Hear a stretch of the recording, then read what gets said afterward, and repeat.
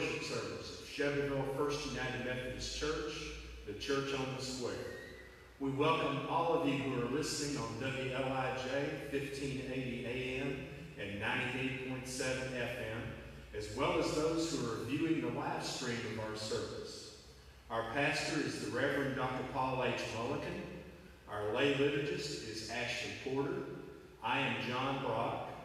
Technical assistance is being provided by Cassie Davis and John Carney. And joining us by Zoom from her home is our outstanding, wonderful musician, Lori Schuler. Please continue to keep Lori in your prayers as she has begun treatments this past week. This week, the church received word from our conference bishop, Bill McAlilly, and after much prayer and consultation, he has determined that it is in the best interest of our churches and our faith communities for public worship and congregational gatherings to remain suspended through May 31st. However, the ministry of this church continues. Our church has set up a nine-person church reopening task force. Its purpose is to come up with plans for the safe reopening of the church for gatherings, hopefully in the very near future. We are soliciting your input and suggestions that would be helpful to our work. A list of the members of the task force is found in your bulletin. The first meeting of this task force will be by Zoom tomorrow evening at 6.30.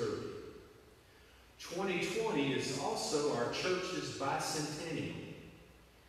We have a special service project for the bicentennial called Rise Against Hunger, and it is tentatively scheduled for Saturday, June 13th in the Fellowship Hall. Social distancing will be used for this event. We are in need of 50 volunteers who will package and pack 10,000 bags of food in two hours. These will go to people who are desperate for food many of whom are women and children in refugee camps. If you would like to help with this project, please contact Rayetta Wilson or call the church office.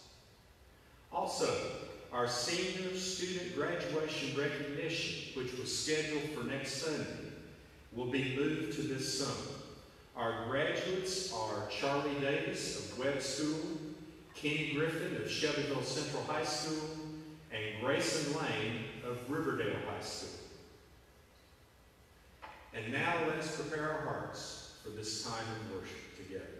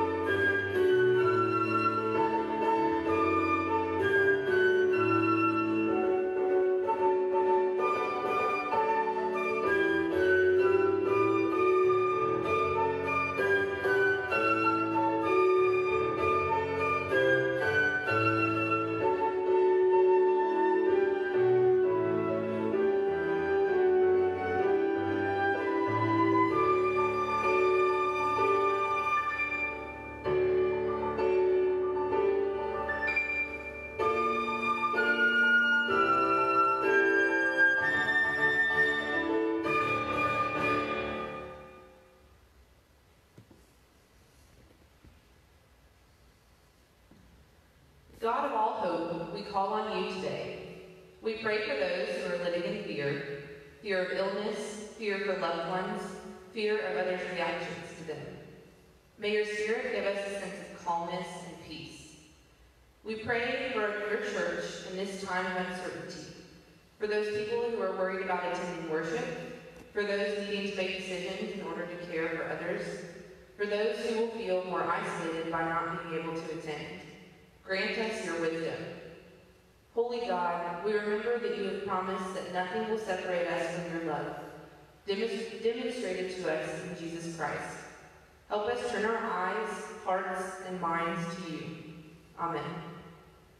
Please join us as we share responsibly our call to worship, which you will find posted on our church website. We need your presence on the long road, Lord.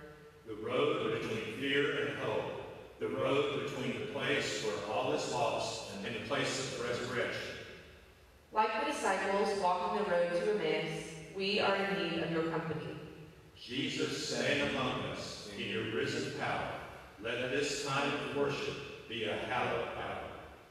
Please join together as where you are in singing Easter People Raise Your Voices. It's in the Methodist hymnal number 304.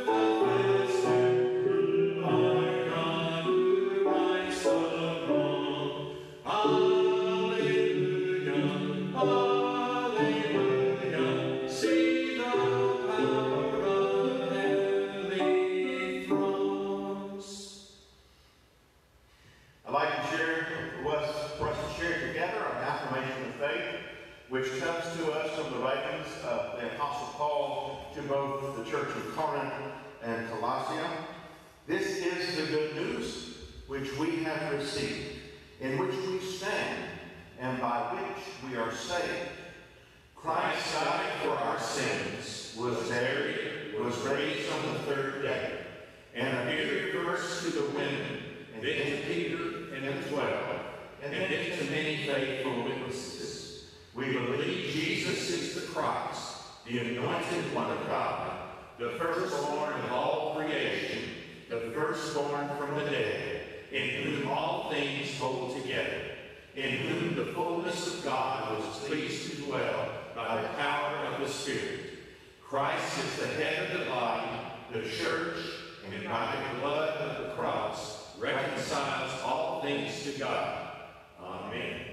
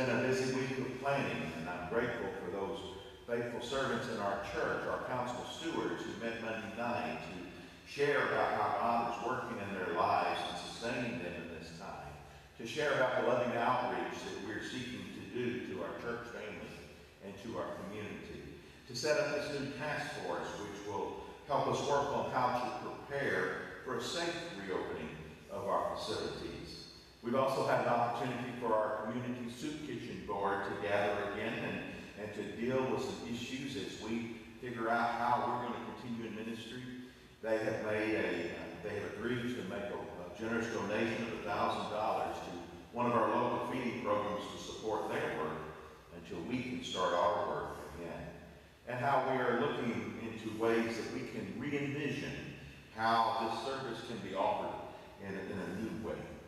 I'm so grateful for the steady leadership of our Bishop Bill McAlilly who continues to recommend that we uh, offer worship in this way over the air and over the internet until it is safe for our return here. And, and aren't we grateful that we can worship even while we have to be apart?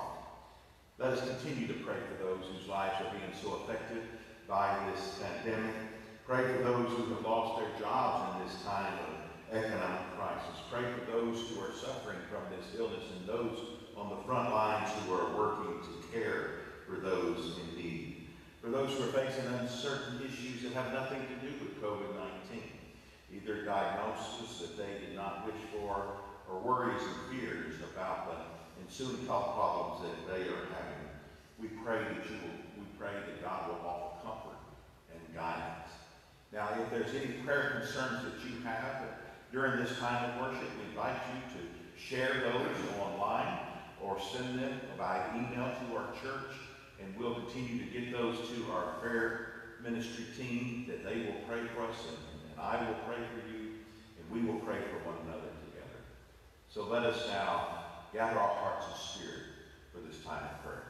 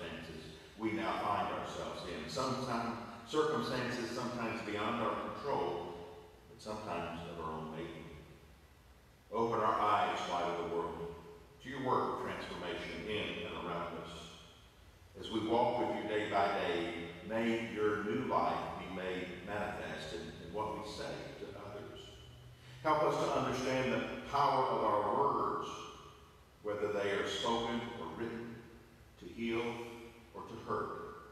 And give us the graciousness to make all of our conversations holy. Just as we desire that our speaking be holy, may our seeing be holy as well. We are bombarded with images every day of Christ that shape our attitudes and our behavior as you opened the scriptures to the disciples and taught them everything, open our eyes to behold you in your word, in the beauty of nature, in the beauty of other human beings, and in the beauty of sacred art. And in our seeing, help us to recognize and welcome the stranger in our midst. May our welcome be a celebration of the gifts and the grace of persons who are or are different from us and not merely some token tolerance of an outsider. You were known to the disciples in the breaking of the bread. May your resurrection presence guide us in the decisions that we make about what we take into our bodies, especially what we eat and what we drink. Help us to understand all of our eating and all of our drinking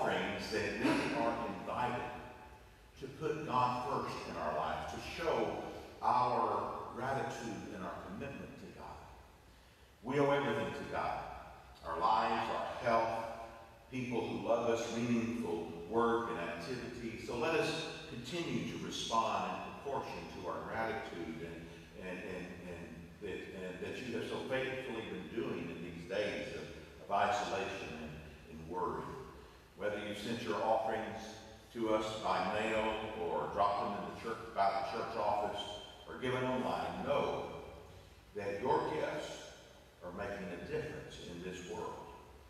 And, and now, in anticipation of the gifts that you will continue to send, let us pray.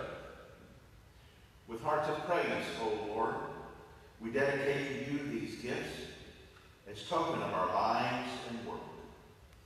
Use them as you use us to the fulfilling of your purposes for creation, that we might give glory to you not only in the hearing, but in the doing of your word.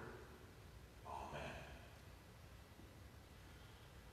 For our prayer of illumination, let us join together in singing, Open Our Eyes, Lord.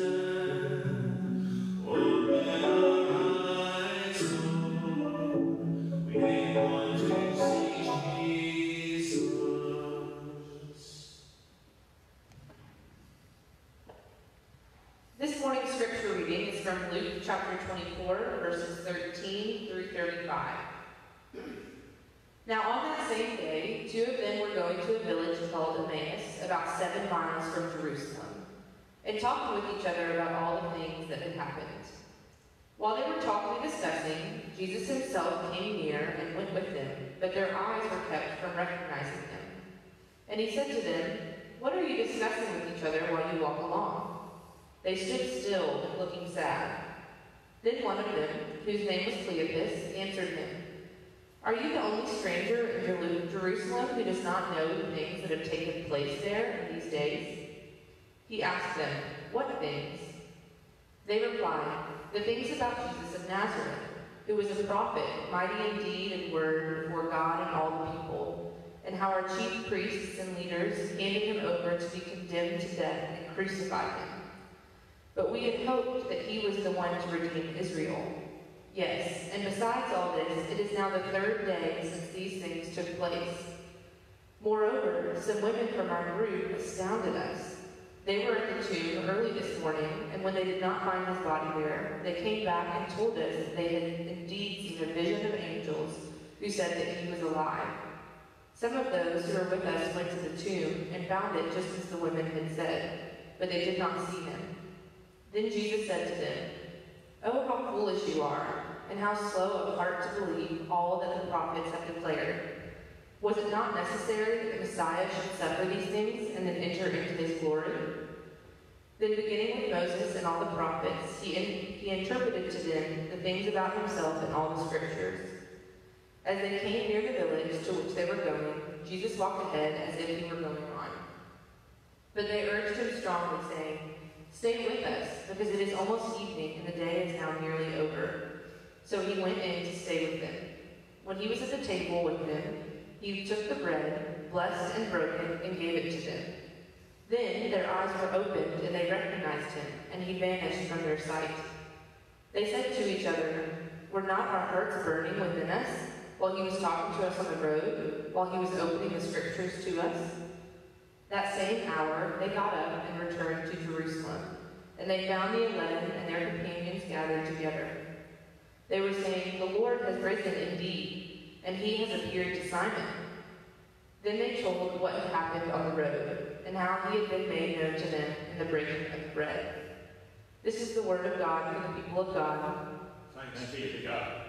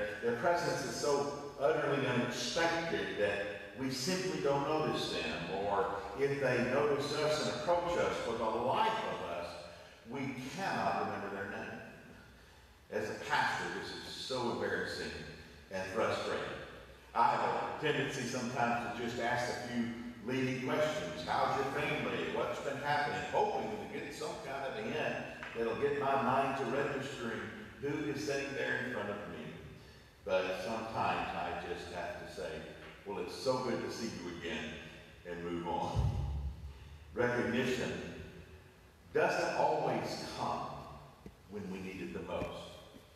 Especially when we see somebody out of context in a place that we did not expect to see them. And to see them in a place that we never thought they would be. I can't help but wonder if something akin to this might have happened to these uh, two friends of Jesus to Emmaus, which Ashley read the story of. Thinking, thinking that Jesus was dead and gone, not expecting to run into someone who a few days earlier they had put in a tomb. Maybe that's why they did not recognize their beloved friend and teacher after, uh, after hitting middle age. Glenn Cooper was reflecting on this morning's gospel reading, and, it was a time when he was cleaning his glasses, and, and, and he started thinking about this story of these two disciples on the road to Emmaus, and, and then it came to him. Well, I know that's why they did not recognize Jesus. Well, they could have been over 40 and their eyes had begun to fall and fail them. And, and only with the breaking of the bread that they finally realized just who he was. Well, later on, Pastor Glenn shared his insight with Hannah, an elderly lady in his church. And this is how she replied. Well, never mind that. If they were my age, even if they recognized his face, they would not be able to remember his name. Our ability to recognize another frequently depends upon our expectations. What are we looking for? What are we expecting in life? I mean, there's a lot of things we expect in life. We, we expect that when we put something in the fridge, it's going to stay cold. Or we expect that our alarm clock will go off at the time which we set it to ring the night before. And we, when we turn the key in our car engine, or push that button, as some cars do today, we expect the engine to start. If, if I had a, if I if we had a job today, we, we expect to have it. Some people expect their social security checks to come in the mail at the first of the month. I guarantee you when our congregation left this sanctuary seven weeks ago, we didn't expect that it would be so long before we were able to be back in this sanctuary. And, and here now we are worshiping over the air and online. Likewise, Mary Magdalene expected Jesus to still be dead when she went to the tomb on that first Easter morning. And so she did not recognize him when, he's, when he was in, behind her in the garden, assuming that he was the, the, the gardener, the groundskeeper. Uh, she did not recognize him until he spoke her name Mary. And then all the memories came back to her. That sense of being with Christ, of, of walking with him on the road to Emmaus, or, or whatever road you may be traveling on, of bumping into Jesus unexpectedly, of communing, of communing with Jesus daily.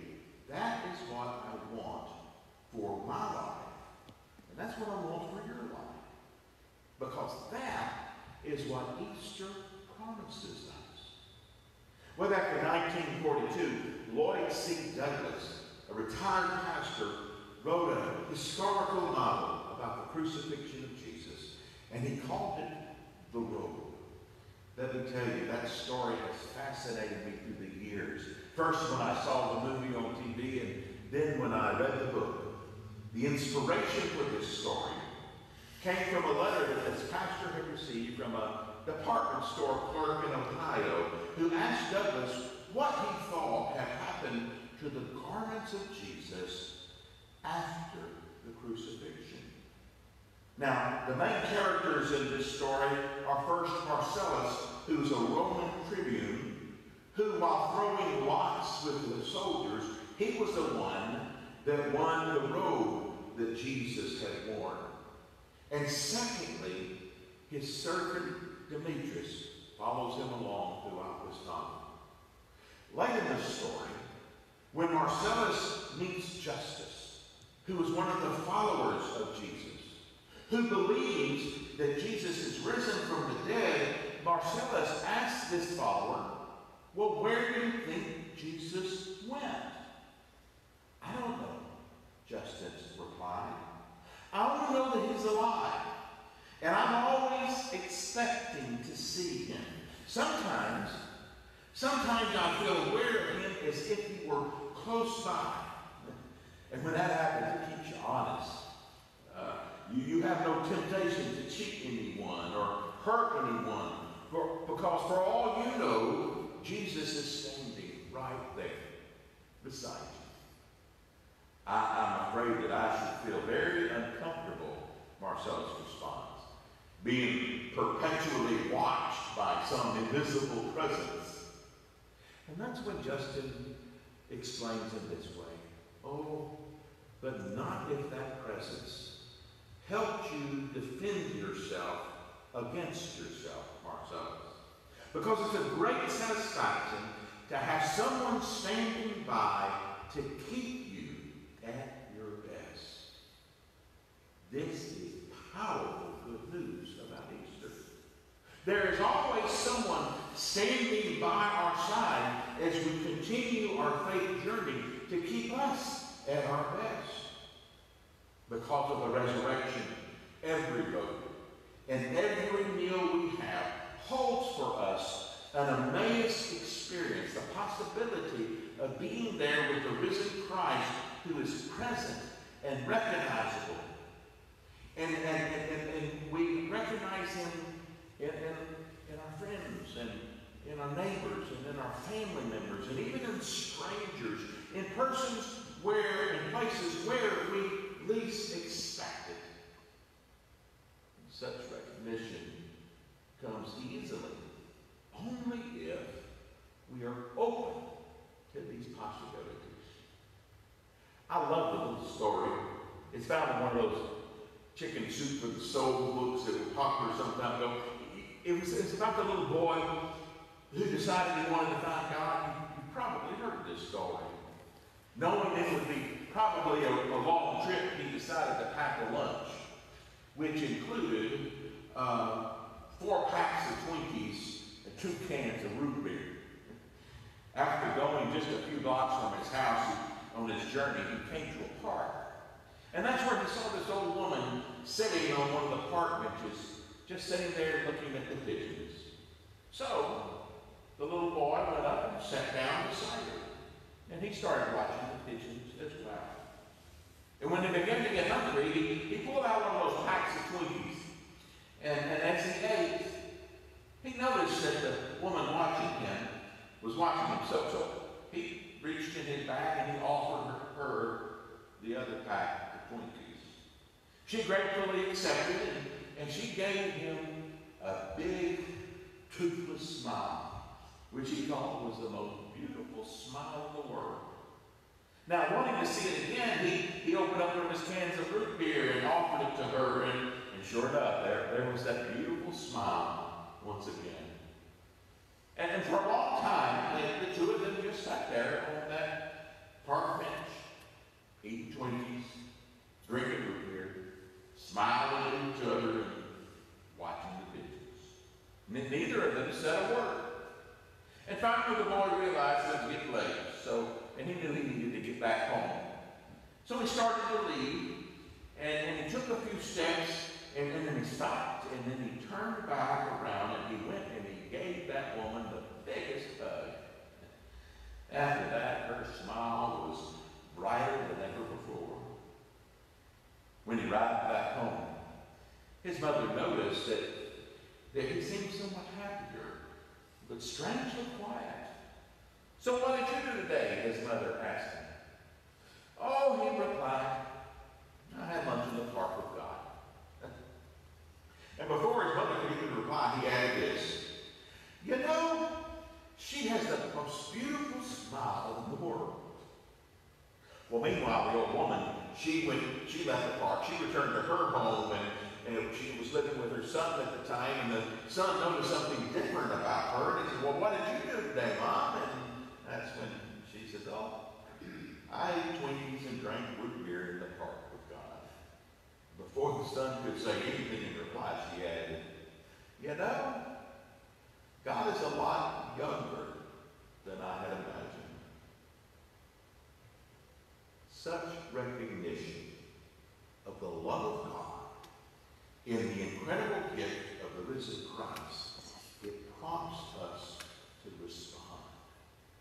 But are we open to God's presence?